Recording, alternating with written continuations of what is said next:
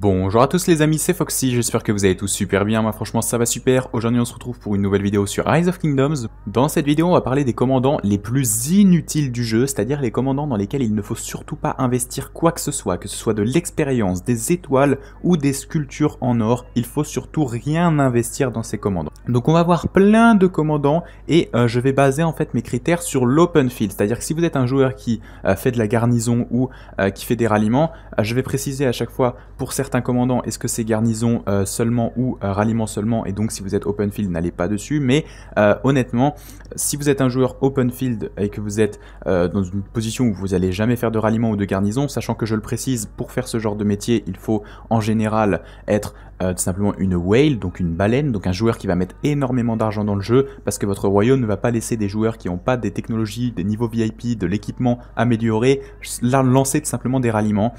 c'est pas du tout fait pour, et donc euh, malheureusement si vous n'avez pas euh, l'argent qui suit, eh bien vous ne serez sûrement jamais euh, rally leader ou garrison leader dans des royaumes en tout cas qui sont plutôt compétitifs. les royaumes qui sont plutôt anciens, qui sont plutôt vides, eux ont beaucoup moins de critères mais c'est à peu près ça la règle. Donc on va directement commencer cette vidéo avec le premier commandant de cette liste, Gilgamesh. Si vous êtes un joueur archer et que vous souhaitez avoir une marche open field simplement avec Gilgamesh, sachez que c'est très compliqué, ce commandant n'est pas du tout fait pour l'open field, il est fait pour le ralliement et il est très bon en ralliement. Mais sur l'open field, il ne fait pas de dégâts de zone, il a un debuff de santé, mais en l'état, c'est pas très utile sur l'open field d'avoir un tel debuff euh, sur une seule cible. Et euh, surtout, le gros problème de Gilgamesh, c'est que dès que les joueurs vont le voir, vous allez vous faire attaquer justement parce qu'il n'est pas répandu sur l'open et que son but sur l'open field euh, n'a pas vraiment de, sens, c'est-à-dire qu'il est juste là pour debuff en général des ralliements, des garnisons ou alors faire des rallyes, mais sur l'open field, les pairings sont très limités et je peux vous assurer que sortir Gilgamesh sur l'open field, c'est une très mauvaise idée. Le deuxième commandant de cette liste, c'est Jules César. Si vous avez débloqué Jules César et que vous pensez pouvoir l'utiliser sur l'open field, je peux vous assurer que c'est une très mauvaise idée. Ce commandant n'a pas d'utilité dans le jeu, que ce soit des garnisons, des ralliements ou l'open field, il n'a pas d'utilité, tout simplement parce que ce commandant, si vous êtes un low spender ou un free-to-play, vous ne l'améliorerez pas assez vite pour le KVK saison 1 ou saison 2, et euh, lorsqu'on arrivera après, eh bien ce commandant sera tout simplement inutile car il y aura beaucoup mieux dans le jeu, et donc euh, sortir ce commandant, c'est se tirer une balle dans le pied tout simplement. Et euh, sachez une chose, c'est que peut-être que vous allez voir des joueurs dans vos KVK saison 1 ou saison 2 euh, qui sont des méga whales et qui ont déjà amélioré ces commandants et qui les ont sortis sur l'open field. C'est fort probable, mais sachez que si vous pouvez pas le faire, ne le faites pas car tout simplement euh, ce serait impossible de vraiment rentabiliser euh, vos sorties sur l'open field tout simplement parce que ces commandants ne sont pas faits pour ça. C'est-à-dire qu'ils sont dans le jeu depuis très longtemps et n'ont pas été améliorés malgré le fait que maintenant nous avons le musée, les nouveaux commandants qui sortent sont extrêmement puissants donc le musée au final ne change pas grand chose sur certains commandants, notamment Jules César. C'est la même chose d'ailleurs pour Frédéric, le site, c'est exactement la même chose, un commandant qui n'a pas assez de skill et euh, que vous n'aurez pas amélioré dans les temps pour le KVK saison 1, donc inutile, donc n'investissez pas dedans.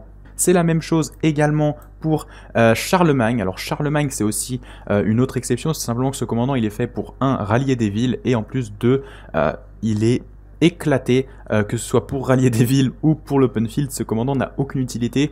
Euh, il faut voir Charlemagne comme étant un trophée. Euh, lorsque vous avez gagné votre KVK, vous obtenez ce commandant et donc vous êtes plutôt content. C'est un trophée, mais n'allez pas l'utiliser sur l'open field et surtout n'investissez rien dedans, c'est totalement inutile. Bien évidemment, j'en parle pas, mais tous les commandants qui ont euh, l'arbre de talent récolte sont totalement inutiles sur l'open field. La seule exception, c'est la commandante Jeanne d'Arc. Elle, pour le coup, euh, elle a l'arbre de talent récolte, mais elle peut être utilisée en secondaire derrière pas mal de commandants parce qu'elle a un très puissant euh, buff qui est plutôt utile sur l'open field, mais c'est vraiment la seule utilité. D'ailleurs, pour tous les commandants épiques, je ne parle pas des priorités à ce niveau-là parce que j'ai tout simplement fait une vidéo sur ça. Donc, si vous voulez savoir quels sont les commandants épiques qu'il faut éviter et qu'il faut améliorer, n'hésitez pas à aller voir cette vidéo et vous allez voir que euh, c'est plutôt complet je trouve et euh, j'espère pouvoir vous aider à ce niveau-là. Dans les autres commandants qu'on a à notre disponibilité, on a Genghis Khan, mais il ne faut surtout pas l'améliorer ou investir dedans, euh, tout simplement parce que Genghis Khan n'a pas d'utilité sortie en fait du KVK saison 2 ou 3. Euh, tout simplement parce que dès qu'on arrive en saison de conquête, ce commandant euh, est totalement faible, il n'est pas assez puissant, il euh, sort de la méta complètement et je vois peut-être une personne sur 1000 l'utiliser sur l'open field, tellement c'est rare de voir un Genghis Khan. Ce commandant en fait, si vous avez la possibilité de le maxer en KVK saison 2 ou en saison 3, vous pouvez le prendre, mais il faut avoir des meilleurs commandants avant celui-là, Saladin, Yi Seong. si vous devez choisir avec Genghis Khan ou un autre commandant, même si vous êtes un main cavalerie, je vous dis d'aller sur Alex, tellement c'est tellement mauvais d'aller sur Genghis Khan. Il y a, tellement mieux à faire que d'aller sur un commandant comme ça. Donc évitez et économisez vos sculptures euh, pour des commandants beaucoup plus intéressants que lui, malgré le fait que euh, en KK saison 2 ou 3, il serait puissant. Mais il faut penser investissement et euh, si vous pensez investissement, Genghis Khan, il faut l'oublier. Un commandant bien évidemment que vous n'allez jamais voir sur l'open field, sinon vraiment votre joueur adverse ou vous-même est en train de faire une grosse blague, c'est Moctezuma. Moctezuma c'est un commandant maintien de la paix qui n'a aucune utilité sur l'open field, il est vraiment fait que pour les barbares et encore parce que pour le mettre sur les barbares il faut l'améliorer. Et euh, le pire de tout ça, c'est que c'est un commandant qui n'a pas d'utilité et qui est disponible dans l'événement le plus grand gouverneur, donc l'un des événements les plus compliqués du jeu et qui vous permet d'avoir ce commandant. Donc vous n'allez pas évidemment euh, dépenser vos accélérations, vos ressources et votre temps pour obtenir un commandant comme celui-là dans un plus grand gouverneur. Euh, la seule chose que vous allez essayer d'avoir, c'est assez de sculpture pour le débloquer et acheter le pack écrivain de l'histoire qui va apparaître lorsque vous allez l'invoquer, mais rien de plus, n'investissez surtout rien dans ce commandant. Un autre commandant il ne faut surtout pas investir, c'est Ragnar Lodbrok. Tout simplement parce que ce commandant n'a pas d'utilité sur l'open field. Encore une fois, c'est des commandants euh, qui sont relativement... Euh, alors lui pour le coup il est relativement jeune, hein. il est sorti avec la mise à jour des Vikings, mais euh, c'est tout simplement des compétences qui ne sont pas assez puissantes pour justifier une sortie sur l'open field. Donc il vaut mieux éviter d'investir dans des commandants comme ça et économiser pour les vrais commandants qui arrivent après le KVK saison 1 et à partir du KVK saison 2.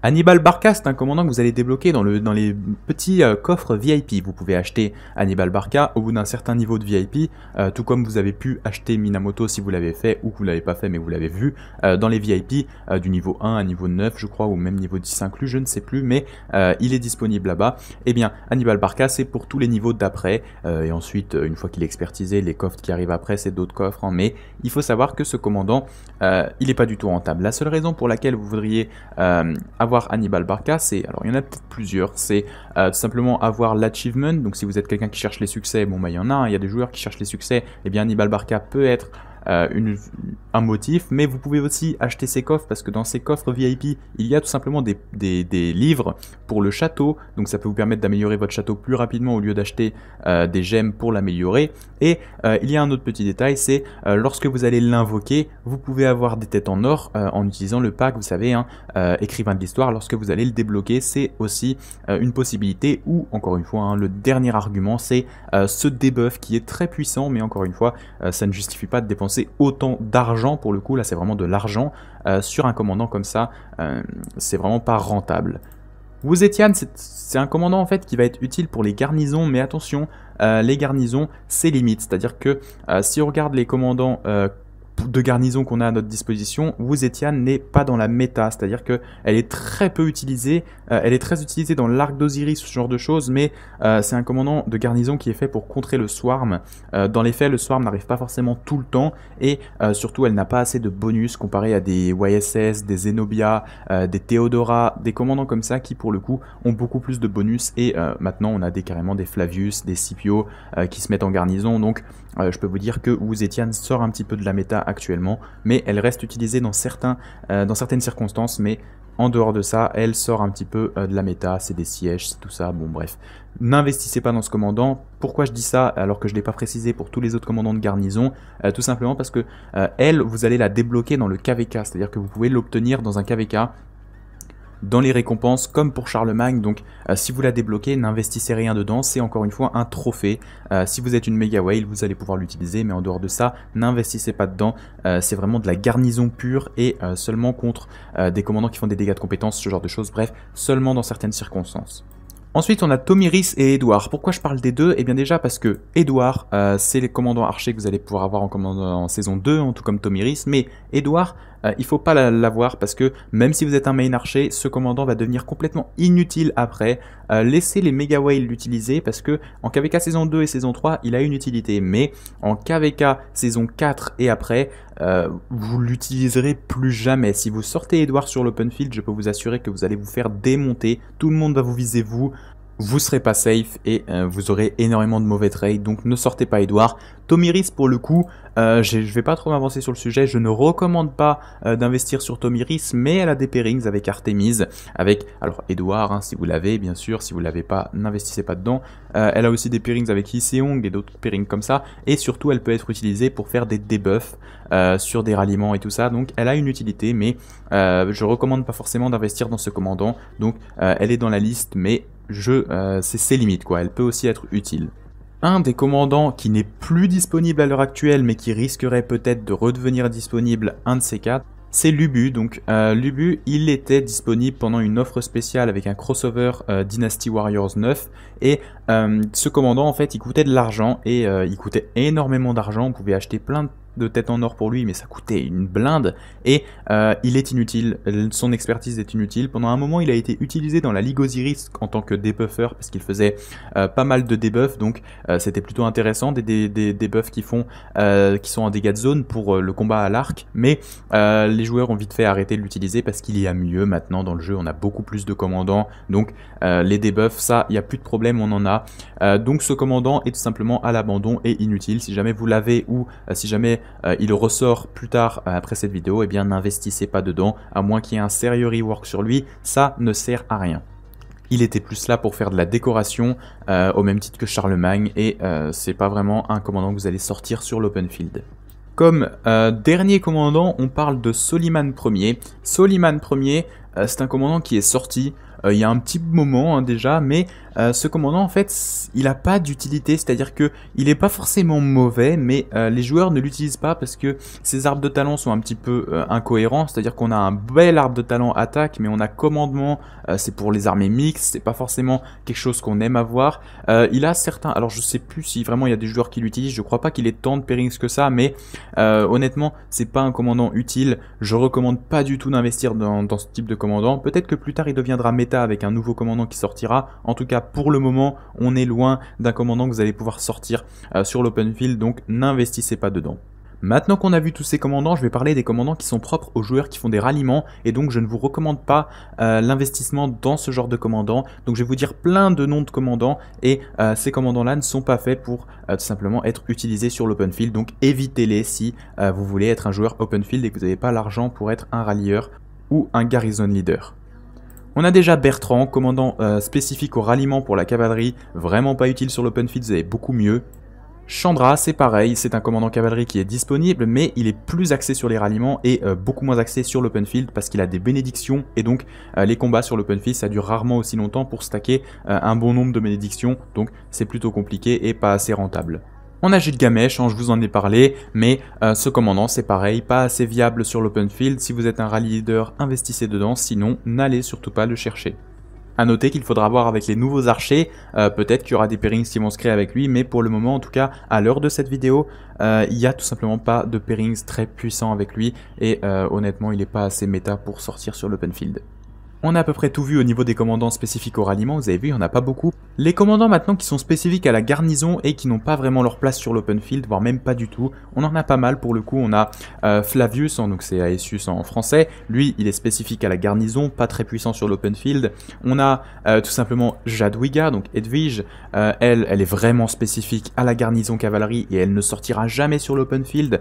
Théodora, vous pouvez vouloir la débloquer juste pour avoir son premier skill juste en 1, vous touchez pas, vous laissez à 1, parce qu'elle fait des dégâts en zone circulaire, elle est plus petite que Yiseong, mais c'est des dégâts circulaires, donc vous pouvez faire du chain de barbare avec elle si vous en avez envie, mais euh, c'est vraiment euh, la version cheap de Yiseong si vous voulez avoir un Yiseong gratuit, mais c'est pas forcément euh, très puissant et Yiseong restera mieux hein, pour ce genre de, tâches, et en plus je vous ai déjà dit, hein, il faut avoir Yiseong expertisé, donc vous n'aurez pas le choix.